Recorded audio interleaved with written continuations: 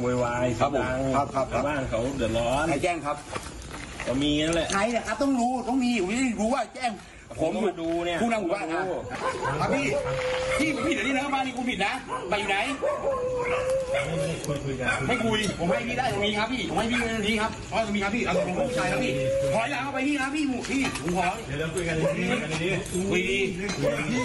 อะเจ้าหน้าที่หัวจะปวดนะคะ ต้องไปเจรจากับคนพูดไม่รู้เรื่องอะค่ะเขาชื่อวิเศษอายุ 43 ค่ะโวยวายลิ้นพันกันนะ แล้วก็ถือมีดอารวาสเช้ายันค่ำมาค่ะ พอเจ้าหน้าที่ไปถึงก็ปะทะคารมกัน มีกำนันมีผู้ใหญ่บ้านอยู่ด้วยนะคะเออหลังจากนั้นตำรวจต้องหาทางชาร์จตัวเขาค่ะ แล้วก็มีอีกคนนะคะ มีคู่เขยค่ะ เสื้อสีฟ้าๆนะคุณผู้ชม ที่เป็นตำรวจเหมือนกันมาช่วยคุยให้ หลังจากสงบได้ก็แยกย้ายกันกลับอะค่ะ เพจชุมชนข่าวขอนแก่นเอามาโพสต์ บอกว่าชายคนนี้ยังอยู่ที่มันจาคีรี คุ้มคลั่งอารวาสอยู่ที่บ้านโคกสูง วิดวางมวยกับชาวบ้านกันตลอดเวลาค่ะทำตัวรู้กฎหมายไม่สำนึกว่าตัวเองผิด แล้วยังมีกล้องวงจรปิดในบ้านของชาวบ้านด้วยนะคะ คุณผู้ชม เนี่ยค่ะในวิเศษ อารวาสโวยวายไปทั่ว เอาจริงลำคาญค่ะ ลองไปดูคลิปนี้ค่ะ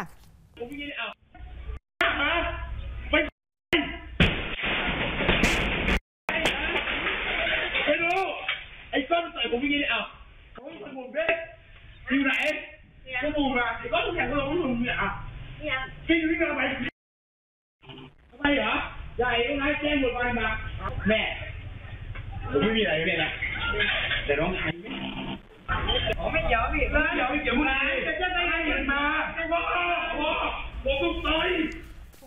คุยกับผู้ใหญ่สถิตโควินทสุดค่ะเป็นผู้ใหญ่บ้านบ้านโคกสูงหมู่ 4 แล้วก็อีกผู้ใหญ่หนึ่งนะคะ ผู้ใหญ่ประยงแก้วมีดค่ะ ผู้ใหญ่หมู่ 14 นะคะ อยู่ที่มันจาคีรีขอนแก่น ทั้งคู่ยืนยันนะคะว่าทั้งสองหมู่บ้านเดือดร้อนค่ะ อยากให้เจ้าหน้าที่นำนายวิเศษเนี่ยไปจัดการให้อยู่นอกพื้นที่ซะเป็นบุคคลอันตรายอยู่ร่วมกันมาแล้ว 7 ปีค่ะ สร้างเรื่องไม่หยุดนะคะ ล่าสุดก็คือ 21 มกราที่ผ่านมา คุ้มคลั่งหนักจนเมียต้องออกมาขอให้ช่วยค่ะ เมียเกือบตายนะคะ แล้วยังชอบถือมีดปลายแหลมเดินเพ่นพ่านด้วยอะค่ะ คือตำรวจยศร้อยตำรวจเอกคนหนึ่งซึ่งเป็นคู่เขยที่เราเห็นเสื้อฟ้าเมื่อสักครู่เนี่ยนะคะ ต้องไปคอยเคลียร์คอยกล่อม หลังจากนั้นก็แยกย้ายกันไป ซึ่งนายวิเศษก็ยังเพ่นพ่านอยู่ในชุมชนเหมือนเดิมอะค่ะนายสมควรทัดเที่ยงอายุ 73 เป็นพ่อตาค่ะ ยอมรับนะคะว่าลูกเขยติดยาค่ะ ชอบอารวาสตบตีเมีย แล้วก็มีลูกหกขวบด้วย ก่อความเดือดร้อนรำคาญในหมู่บ้าน วันๆไม่ทำมาหากิน ชวนคนอื่นทะเลาะไปเรื่อย แล้วเคยเข้าไปห้ามโดนมีดจ่อคอมาแล้วนะคะ คือตอนนั้นน่ะมีดบาดด้วยเลือดออกนิดนึง แล้วลูกเขยเองก็ไม่มีทีท่าว่าจะสงบเลยอะค่ะ